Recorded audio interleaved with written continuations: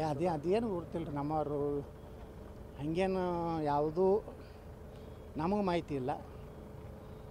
ಅದು ಏನಾಗ್ತದೆ ಮೋದಿಯವ್ರ ಹೆಸರಲ್ಲೇ ಕರ್ನಾಟಕದಲ್ಲಿ ಹೆಚ್ಚು ಸೀಟ್ ಬಂದೇ ಬರ್ತಾವೆ. ನಾನು ನಮ್ಮ ಅಪ್ಪ ನಾನು ಕೂಡಿ ತಂದೆ ಅಂತ ಹೇಳ್ತಾರೆ ಅಷ್ಟೇ. ನೋಡ್ರಿ ಆರ್ ಅಶೋಕ್ ಅವರು ಮೊನ್ನೆ ನಿರ್ಣಯ ತೊಗೊಂಡಿದ್ದು ಸರಿ ಇದೆ.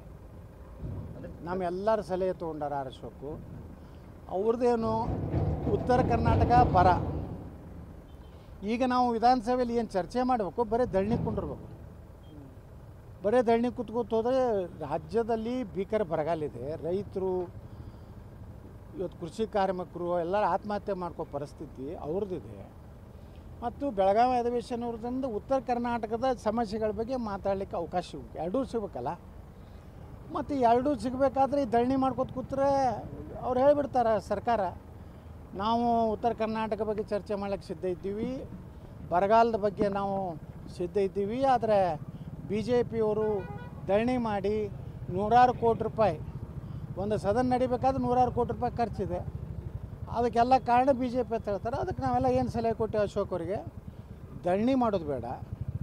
ಬರಗಾಲ ಬಗ್ಗೆ ಚರ್ಚೆ ಮಾಡೋಣ ಉತ್ತರ ಕರ್ನಾಟಕ ಬಗ್ಗೆ ಚರ್ಚೆ ಮಾಡೋಣ ನಮಗೆ ವಿರೋಧ ಇದೆಯಲ್ಲ, ಒಬ್ಬ ಕಾರ್ಯಕರ್ತರು ಹೊಡೆದಿದ್ದು ಅದೂ ಭಾಳ ಅಲ್ಲೆಂದ್ರೆ ಗುಂಡಾರಾಜ್ಯ ನಡೆದಿದ್ದು ಬೆಳಗಾವಿಯಲ್ಲಿ. ನಾ ಹೇಳಿದ್ದೆಲ್ಲ ನಿಮ್ಮ ಹಿಂದೆ ರಿಪಬ್ಲಿಕ್ ಬಳ್ಳಾರಿ ಅಂತ ಹೇಳ್ತಿದ್ರು ಸಿದ್ದರಾಮಯ್ಯನವರು. ಈಗ ಬೆಳಗಾವಿಯಲ್ಲಿ ರಿಪಬ್ಲಿಕ್ ಬೆಳಗಾವಿ ಸತೀಶ್ ಜಾರಕಿಹೊಳಿ, ಲಕ್ಷ್ಮೀ ಹೆಬ್ಬಾಳ್ಕರ್ ಎರಡು ಗುಂಪು. ಅವರು ಕಾರ್ಯಕರ್ತ ಬಿ ಜೆ ಪಿ ಹಿಂದೂ ಕಾರ್ಯಕರ್ತರು ಮನೆಗೆ ಹೊಕ್ಕು ಹೊಡೆಯುವಂಥದ್ದು ನಡೆದಿದೆ. ಅದನ್ನು ಪ್ರತಿಭಟನೆ ಮಾಡಿದ್ದೀವಿ, ಸಾಕಷ್ಟು ಚರ್ಚೆ ಮಾಡಿದ್ದೀವಿ. ಸಭಾತ್ಯಾಗ ಮಾಡಿ ಆ ವಿಷಯವನ್ನು ಅಲ್ಲಿಗೆ ಬಿಟ್ಟು ನಾವು ಮುಂದೆ ಬರಗಾಲ ಮತ್ತು ಉತ್ತರ ಕರ್ನಾಟಕ ಮತ್ತು ಇನ್ನೂ ಅನೇಕ ಸಮಸ್ಯೆಗಳು. ಅವು ಚರ್ಚೆ ಮಾಡೋದು ಹೆಚ್ಚು ಸೂಕ್ತ ಅಂತ ನಾವು ಹೇಳಿದ್ರಿಂದ ಪಾಪ ಅಶೋಕ್ ಅವರು ಅವರೇನು ಈ ವಿಷಯದಲ್ಲಿ ಏನೋ ಅಡ್ಜಸ್ಟ್ಮೆಂಟ್ ಮಾಡ್ಯಾರ ಅನ್ನುವಂಥದ್ದು ಎಲ್ಲ ಸುಳ್ಳು.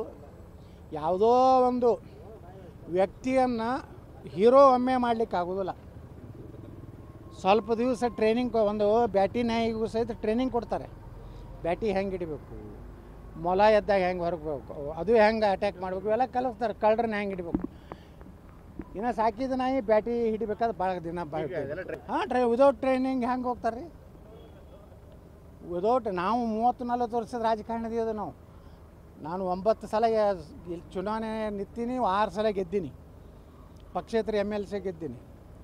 ನನ್ನಂಥವ್ರು ಏಳು ಏಳು ಎಂಟು ಸಲ ಗೆದ್ದವ್ರು ಅದಾರೆ ಏಳೆಂಟು ಸಲ ಗೆದ್ದವ್ರು ಅದಾರೆ ಅಂಥವ್ರದ್ದೆಲ್ಲ ಅನುಭವ ತೊಗೊಂಡು ವಿರೋಧ ಪಕ್ಷ ನಾಯಕರು ಕೆಲಸ ಮಾಡ್ಬೇಕದ ಅದು ಮಾಡ್ಲಕತ್ತಾರ. ನಮಗೇನು ತಕರಾರಿಲ್ಲ, ವಿರೋಧ ಪಕ್ಷ ನಾಯಕರು ಮೊನ್ನೆ ತೊಗೊಂಡಂಥ ನಿರ್ಣಯ ಯಾವ ಅಡ್ಜಸ್ಟ್ಮೆಂಟ್ ಇಲ್ಲ. ಒಳ್ಳೆಯ ರೀತಿಯಿಂದ ಎಲ್ಲರೂ ವಿಶ್ವಾಸ ತಗೋ ಪ್ರಯತ್ನ ಮಾಡ್ಲಕತ್ತಾರ. ನಾವು ಸಹಕಾರ ಕೊಡ್ತೀವಿ ಅವರಿಗೆ.